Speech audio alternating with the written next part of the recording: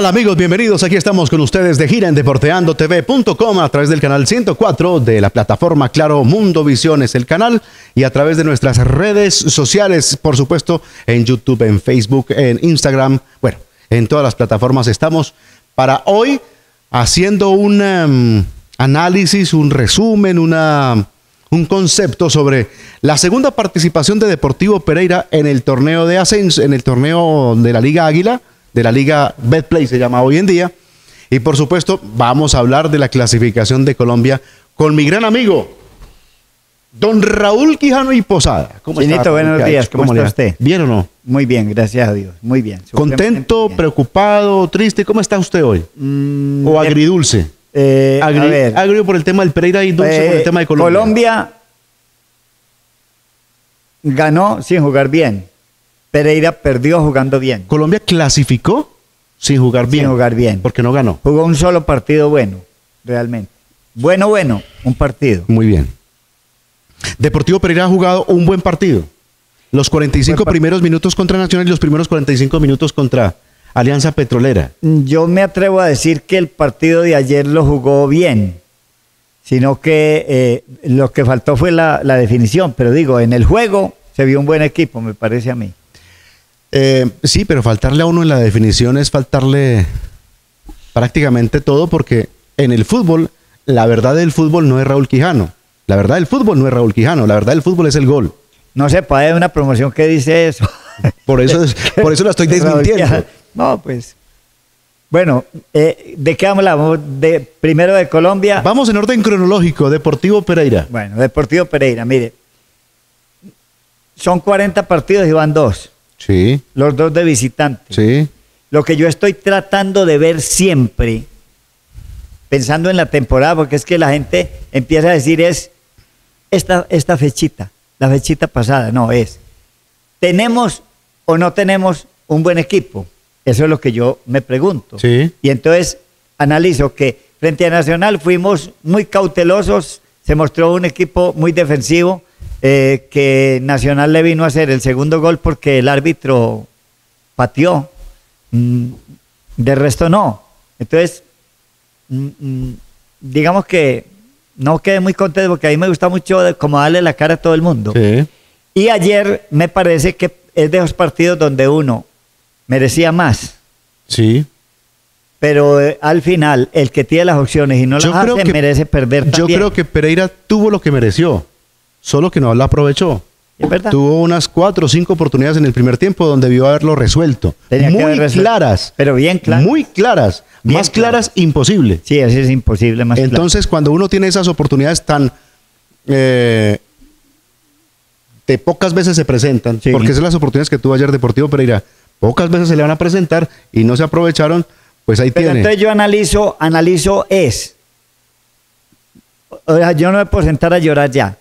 Tengo que ver es, ¿tengo equipo o no tengo equipo? Y yo analizo que tenemos una muy buena defensa. tenemos un equipo. A ver, en el tema de la defensa, el eh, Deportivo Pereira en el juego aéreo ganó. Mm. Pienso que todavía falta la sincronía, que es normal a esta altura de inicio de campeonato, la sincronía, eh, en el, sobre todo en la pareja de centrales, porque son nuevos, porque son los dos nuevos llegando al equipo y jugando a una cosa que también realmente es nueva para Deportivo Pereira, es retroceder a uno de sus volantes a hacer línea de cinco. Ahora hay que decir que eh, la llegada de, de, Álvarez, pues Álvarez, la gente no lo vio tanto, pero en el primer tiempo pivotó ¿Álvarez muy el bien. delantero? Sí. Sí. Y por otra parte, la de Johnny Vázquez. Hay que decir que Johnny Vázquez le dio. Fue la mejor aparición de Deportivo. Pereira. Le dio mucha presencia al equipo. Seguimos eh, viendo, por ejemplo, que, que este pelado de la Rosa es muy rápido, muy hábil, muy vivo, Sí. pero no define bien. Pero es un jugador, no, pues si por definiciones vamos a mirar, ninguno de los que está ahí está definiendo bien. Ya. Pero es inicio de torneo, están entrando en, el- en, en- la dinámica. Pero a mí me fútbol. parece, por ejemplo, Sí. lo- las cinco oportunidades que creó en el primer tiempo dicen Muy que claras. el equipo está aceitado. muy claras y que ese aporte de, de la Rosa, como usted bien lo dice, mm, le suma a Deportivo Es Pereira. verdad. Le suma. Ese jugador está diciendo yo soy titular. Exactamente, estamos de acuerdo. Todavía em, eh, yo creo que es muy em, Muy temprano. poco claro, Es muy poco es, claro. es muy poco claro el papel al que entra Ramírez al terreno de juego. Estoy hablando de Delio. Sí. Yo creo que no lo tiene suficientemente claro o no lo están poniendo en el oficio en donde él puede ejercer una mejor. Yo creo que en ninguno de los dos partidos Sí, eh, estaba el partido como para él. de acuerdo. Eso de es lo que creo yo. De acuerdo. Él, él está para otro tipo de partido. Es más, yo supuse que lo iban, cuando lo iban a meter, lo iban a meter por uno de los costados. Precisamente para seguir eh, haciendo algo que le estaba dando el resultado deportivo Pereira, que era usar el pivot. Es decir, al 9 que estaba jugando por los costados, cuando llegue- le llegara la pelota, empezaba a distribuir y se necesitaba alguien con más velocidad, con mejor gambeta, para quedar frente a la portería de. Para mí ese muchacho no puede ser contragolpeador. Para mí hay que utilizarlo de local en espacios reducidos donde se mueve muy bien. Bueno, No digamos. es un jugador para correr 50 metros con el balón. digamos que de lo que vimos hasta el momento, se sabe a qué está jugando el equipo, cuáles son sus intenciones y que me parece prudente que lo hagan así. Otros le van a decir que está muerto de miedo, que... que o- El equipo está jugando bien. pero, pero, mm, a ver, eh, hay que entender es del por qué estamos aquí, qué estamos construyendo. Es la pena la segunda fecha, de visitante ambas fechas. Eso es. De visitante anda- ambas fechas. Porque entonces, ¿qué dirán los de los de la equidad No, que por ejemplo, perdieron los de Bogotá, locales? los de Bogotá están de, de muerte súbita. Ah, bueno. Ya venimos con ustedes. Vamos a una pausa, don Raúl, y seguiremos analizando poco a poco el desempeño de los jugadores que ayer eh, perdieron en su visita eh, frente a Alianza Petrolera un gol por cero.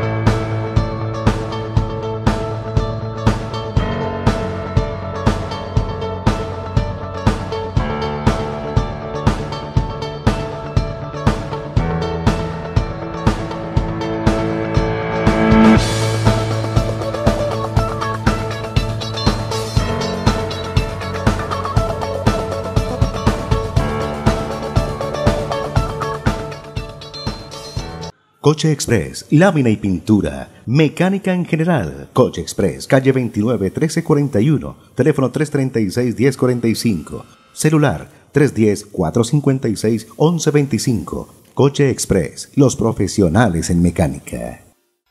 El Hotel El Coliseo se ubica en el foco comercial, turístico y cultural de la ciudad. Podrás descansar y disfrutar de todo lo que tiene Manizales para ofrecerte www.hotelelcoliseo.com Informes y reservas 317-834-9084 Hotel El Coliseo, en Manizales, el Hotel de los Campeones.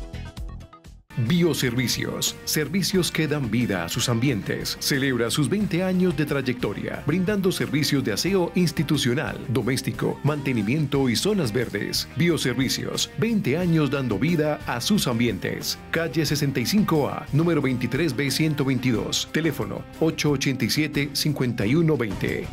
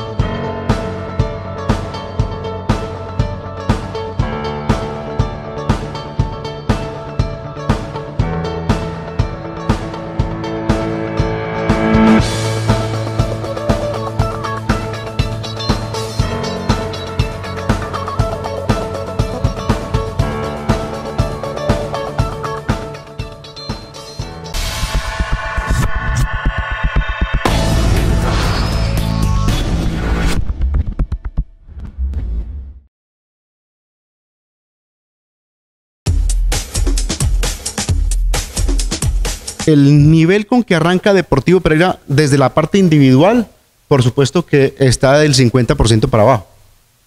¿Será tanto? Yo pienso que mm, lo de Casierra le falta sumarle muchísimo más. Eh, por el otro corredor, eh, Jorge Iván y Pacho, por supuesto que están muy bajos de nivel de lo que le conocemos a ambos Sí, jugadores. están- lo que pasa es que también es que sí, en el arranque. En el que- arranque. a, a mí, por ejemplo, me parece que para hacer la segunda fecha, Ujú. antes el equipo está muy aceitado. Digo. Sí, está aceitado, pero, Pero está le falta, le a un falta. 50%. Pero uno digo sabe que ese equipo tiene que dar más. Falta que lleguen eh, al terreno de juego jugadores bastante importantes. Caso eh, Navarro. Navarro. Navarro le daría una mano. ¿Sabe quién está muy bajito que me dejó aterrado? ¿Quién? Es el nivel más bajo que le he visto lo que hay que está en el Pereira. ¿Quién? Edwin Móvil. Edwin Móvil Pero está en un muy bajitico, nivel. bajitico. Parece como que no podía con las piernas, como que no, no, no le alcanza. Y así, ayer tuvo dos, tres pelotas muy claras para el ataque del Deportivo Pereira. Es verdad. Otro que tampoco está en el nivel que uno pretende que estuviera es Michael eh, Aunque mejoró mucho ayer. Michael Ordóñez. Ordóñez. Claro que él dice que llame Michael. Bueno, pero Bueno, digámosle Michael para que, para que no Pero, se vaya a eh, emberriondar. sí, se escribe Michael, pero Porque a ver, emberrionda nosotros nos morimos de miedo. porque si yo tengo un amigo que se llama Alexander, pero se llama Alexander, no Alejandro. Se llama Michael. Él dice que llama Michael. Bueno, Michael. Yo creo que él, eh, pues él ya lleva veintipico de años. Hay que mirar cómo lo escriben. Lo que nombre. pasa es que depende de cómo lo escriben. Porque lo escriben con doble L, entonces es Michel. Él lo escribe en. Michael.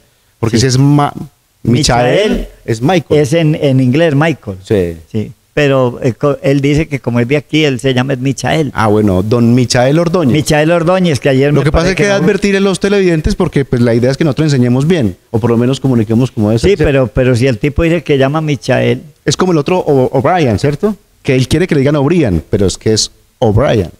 sí. Pero, eh, pero es que él, él le hace la pronunciación del pueblo. O como el Mal- Michael Knight Gómez, ¿se acuerda? Sí, claro. Michael Knight. Bueno, Ay, Colombia y sus es el nombres. problema que tenemos con esos, Bueno, con esos em, nombres extranjeros.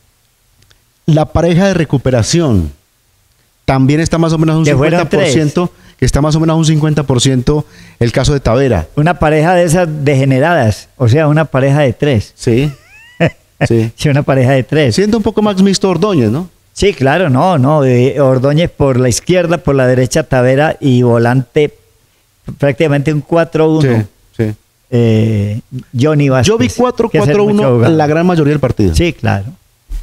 Sí, pero, pero a veces hacían, eh, él se quedaba para que los otros fueran a apretar un poquito más arriba. Eh, hay que ganar a Cúcuta. Porque de local, mire, los puntos de local garantizan más o menos unos 27 puntos en la tabla de clasificación. Y con 27 puntos en el primer torneo y 27 puntos en el segundo torneo, estamos hablando de unos 54, 55 puntos, que con eso Deportivo Pereira podría eh, estar tranquilo en la liga. Son eh, de los 10 partidos, yo digo que uno puede ganar 7 de local y empatar uno y hace 22 puntos y el resto de tiene que rebuscar por afuera. Digo yo. Digo la yo. ventaja es que cogimos, por ejemplo, a Nacional por fuera. Entonces, en la Sí, casa... no, no, es que Pereira jugó dos partidos de visitante. Sí. El uno ante Nacional y el otro en una plaza muy dura, con 39 grados, Ujú. y con un equipo que fue inferior al Pereira, y que es el partido más malo que le he visto yo a Alianza, porque Pereira lo enredó. Ese Alianza juega muy bien. Eh, Cúcuta ayer mostró igualmente para hablar del próximo rival de Deportivo Pereira que es un equipo muy complicado. Complicadísimo. Es un equipo ahí, muy no, hay- ahí no hay complicado. nada fácil. No. Ahora, vienen del General Santander, ahora llegan a la ciudad de Pereira. Pereira viene del calor.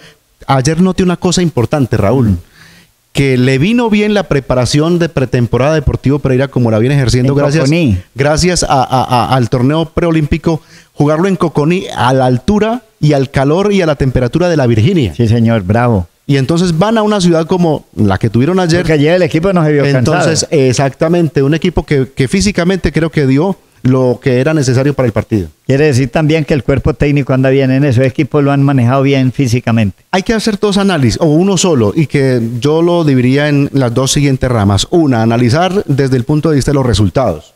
Desde ese punto de vista, eh, no se hizo un inicio de temporada ideal. Mínimo debió traerse tres puntos. Primero por cómo se dio el partido de ayer, más que con el de Nacional. Y entendiendo que el de Nacional, si se hubiera sido un poco más ambicioso, hasta de pronto otra cosa hubiera pasado. No estoy diciendo que se hubiera ganado Nacional. No, no Otro partido hubiéramos visto. Pero había digo yo. podido jugar. Bueno. Lo que pasa es que lo que teníamos para ese partido era difícil, Es correcto. Había muchos atenuantes para ese primer partido. es verdad. Bueno, desde los resultados. Ahora, desde el fútbol. El análisis que yo hago es que Pereira de los dos partidos ha hecho uno bueno, es decir, los dos primeros 45 minutos de cada partido, para mí Pereira lo jugó. Pero a mí no me chocó el segundo tiempo bien. de ayer, ¿sabe? No me chocó. Hubo un rato en que se le perdió el balón y todo, pero... Un rato largo. Sí, pero, pero yo creo que en el contexto general fue un buen partido. Muy bien. Esperemos que contra Cúcuta, al regreso ya de las caras que estaban a- a la disposición del técnico, pues eh, encuentren el nivel suficiente para llegar al terreno de juego. Esperamos una actitud ya no más defensiva, ya un poco más de eh, proponer, más propositiva, más activa, más, dinámica, con más ambición, porque los partidos de local, como le estoy contando a Raúl y a ustedes, creo que son supremamente ganar. importantes los tres puntos del local para el Deportivo Pereira. Sí, eso es verdad. Lo que yo estoy diciendo es, hay que dejar la ansiedad y el miedo. Hay que ir a jugar tranquilo. Eh, Lo que yo veo, la imagen que yo veo es que es un equipo que tiene con qué. Eso sí, lo logramos ayer frente a Alianza Petrolera. Vamos a conocer Pero otro que rival. que Alianza que es Cúcuta. Petrolera, por ejemplo, eh, eh, estuvo en las finales. América le hizo un buen partido. A América en todos los partidos lo ha bailado, ha perdido. No, en el último, en el primero, en el, último. primero Sí, pues sí, que fue de esta, de esta liga le hizo un buen partido. Es, es verdad. Entonces creo que fue una buena oportunidad de ver en qué estamos. Falta la del próximo domingo que es Cúcuta y esperamos la asistencia de todos nuestros oyentes al Estadio Hernán Ramírez Villegas. Vamos a una pausa y hablaremos en segundos de lo de Colombia.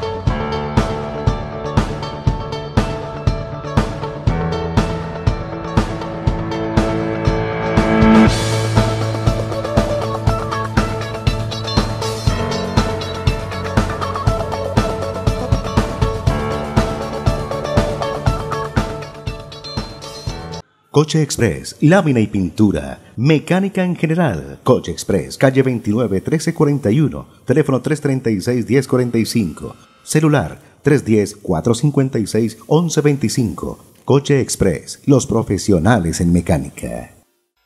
El Hotel El Coliseo se ubica en el foco comercial, turístico y cultural de la ciudad. Podrás descansar y disfrutar de todo lo que tiene Manizales para ofrecerte www.hotelelcoliseo.com Informes y reservas 317-834-9084 Hotel El Coliseo, en Manizales, el Hotel de los Campeones. Bioservicios, servicios que dan vida a sus ambientes. Celebra sus 20 años de trayectoria, brindando servicios de aseo institucional, doméstico, mantenimiento y zonas verdes. Bioservicios, 20 años dando vida a sus ambientes. Calle 65A, número 23B122, teléfono 887-5120.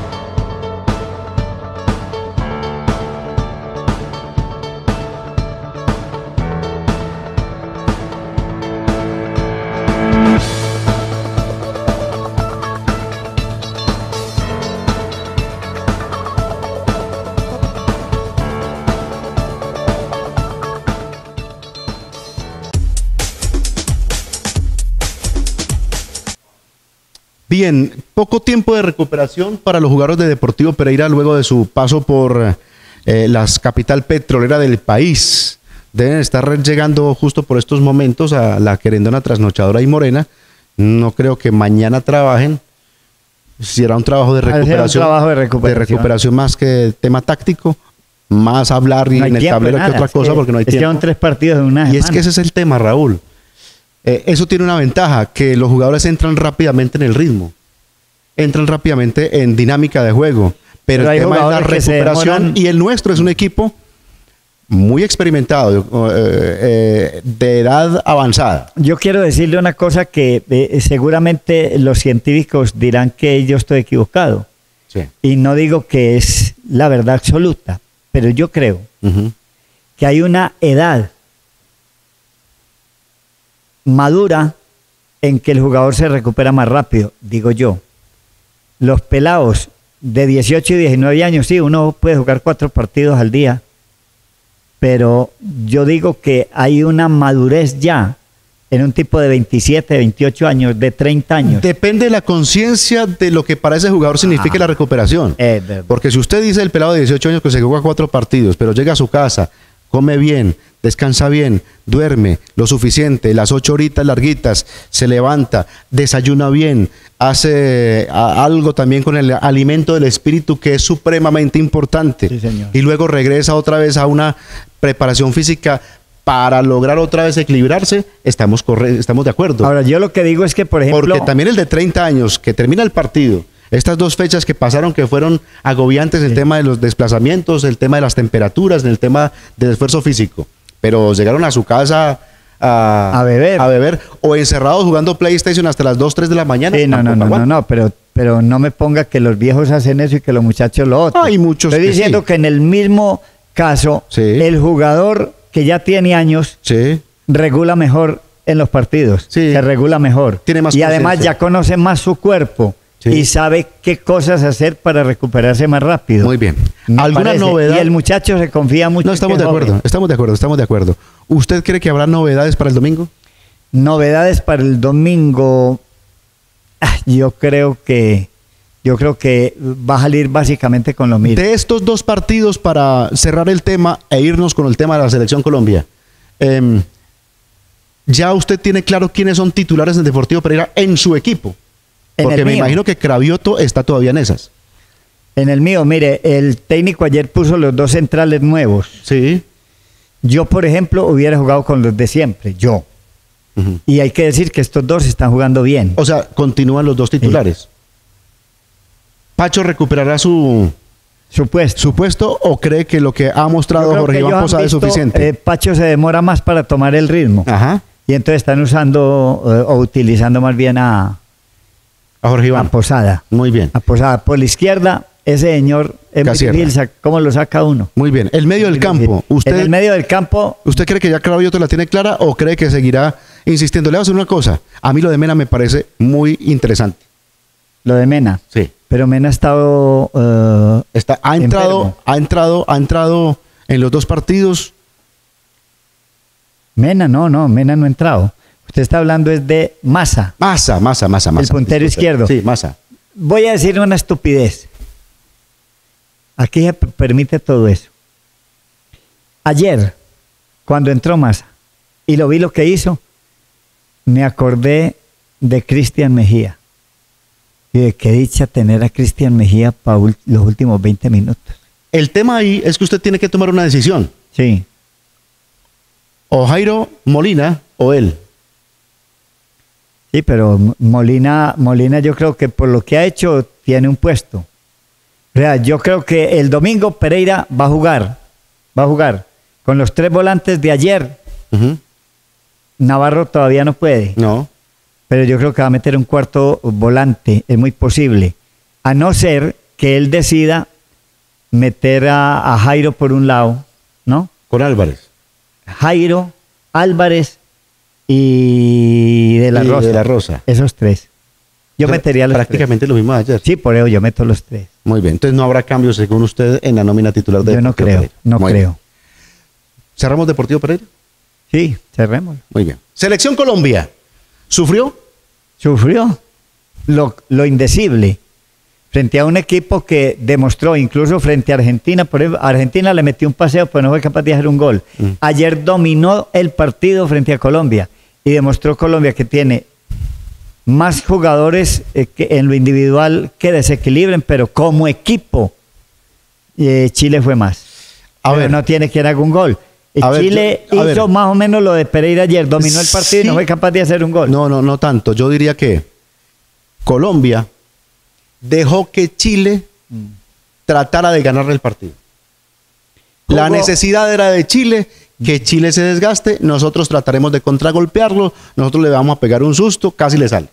Sí, pero, pero, pero El a mí tema- me parece que eso es muy tema- arriesgado. El tema es que cuando uno sale a empatar un partido, casi siempre, casi lo, siempre lo pierde. pierde. Casi siempre lo pierde. casi siempre lo pierde. O sea, Colombia tenía con qué salir a ganarles. Y hay que ver que cuando Colombia subió las líneas, puso en aprietos a Chile, pero después le entregó el balón y jueguen. Y con... Nos eh, salvó esos dos centrales que tiene Colombia. No, y la pésima, y la pésima definición que tiene Chile. Y el arquerito que dice que es muy malo, pero... No, pero tiene que trabajar sobre todo en, en- No. en- en el rebote de las pelotas. Él lo que tiene es, es un arquero de esos que... Usted los llama voleibolistas. No, no lo va a sacar olímpico. No, es usted a ese tipo de arquero usted Es lo verdad, llama Es un voleibolista. atajadorcito. Sí. Pero hay que decir que ayer sacó varias bravas, Sí, pesadas. Sí. Hubo una que se le pasó de las manos y le pegó en el cuerpo y se salvó. Bueno, hoy se define el otro grupo. Ya lo de Argentina y Colombia quedó Es definido. un arquero, ese arquero es como la mujer de un amigo mío, poco confiable. ¿Poco confiable? ¿Qué tal? Raúl, eh, con lo que vimos en este preolímpico en el eje cafetero y lo que se podría ver en Bucaramanga a partir de este fin de semana, Colombia va a clasificar el mundial a, Yo creo que sí. a los olímpicos. Sí, ¿o yo no? creo que sí. ¿Quiénes de los que usted ha visto? El primer partido lo va a jugar contra Brasil. Sí. Yo creo que Colombia y Brasil son los clasificados. Colombia y Brasil. Colombia y Brasil. Yo tengo tres, Colombia, Brasil y Y Argentina. Argentina. Lo que pasa es que no entran sino dos. Ese es el tema. Yo creo que Colombia es más que Argentina. Argentina es un equipo muy práctico, que juega poco y gana mucho. Y Colombia tiene que saber. Y eso no es, y esa no es, y esa no es una chepa. como Es una buena- es una buena Es una característica importante. Se parece mucho este Argentina al Pereira del año pasado, Muy bien. que no gustaba mucho, Sí. pero mataba. Vamos a tratar de tener conclusiones de la visita de la FIFA con relación a la intención que tiene Colombia de celebrar el Mundial de Fútbol Femenino, donde Pereira podría ser sede. Ayer estuvo una delegación de FIFA y de autoridades de la Federación Colombiana de Fútbol en la ciudad y estuvieron en el partido anoche precisamente del preolímpico. Colombia no Yo tiene. no, le, el- pre- yo no le pregunto a usted por el tema porque a usted el fútbol femenino no le gusta. La verdad no me gusta. Por eso, entonces, No ¿para me qué le pregunto? ¿O Pues, quiere no, no me pregunte. tipo- o quiere Hable usted que es especialista en mujeres. Tengo siete en la casa. Siete. Tengo siete en la casa. Don Raúl. Ah, qué maravilla. Don Raúl, nuestro patrocinador es tan amable. Nos matamos todos los días, luchamos, trabajamos, tal. Un día nos cancelan la cédula y empieza otra vida. La pregunta mía es, ¿para dónde se va usted cuando le cancelen la cédula? Porque el único que ofreció vida eterna, porque las religiones le enseñan un poco de cosas, buenas y, y otras no tan buenas. Pero el único que ofreció vida eterna se llama Jesús. Si usted lo invita a su corazón y acepta su sacrificio, podrá dar ese brinquito de aquí a allá en buenas manos.